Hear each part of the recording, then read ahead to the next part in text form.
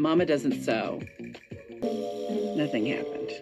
Okay. You know who's not excited about doing a ball?